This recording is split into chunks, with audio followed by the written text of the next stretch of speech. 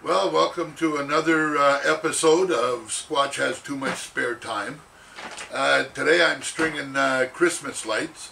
Uh, seems kind of crazy since it's still the middle of November, but my neighbor uh, next door, Gord, and his lovely wife, Crazy Alice, they've had theirs up uh, since the 8th or 7th or 8th of, of November. Of course, they didn't turn them on until after uh, Remembrance Day. So here we are, armed with nothing but a, a stapler, a handful of twist ties, and a severe lack of imagination. I'm stringing up the lights. Oh, always have a, a cord handy, because I'll tell you, you want to make sure the lights are working before you string them up, because that really sucks. Hey, we have ignition.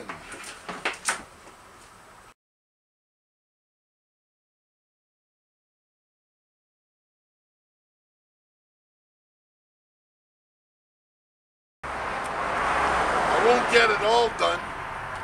I uh, I had to go out and get some uh, clips for the thing there, and while I was out, I got an oil change and a transmission flush.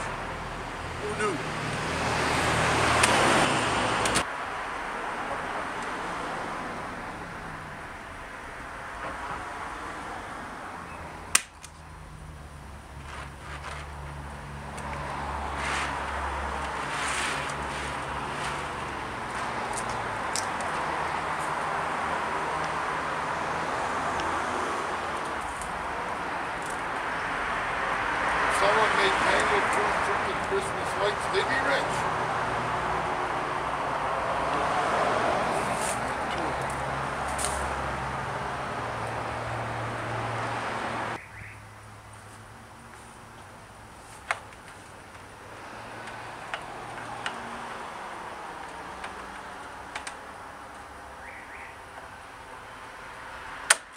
I almost fell off of the edge here. Hey, uh, so that's all I'm doing today. I don't know what it's going to look like. We're going to find out. This is the top of the tree that came down during the windstorm.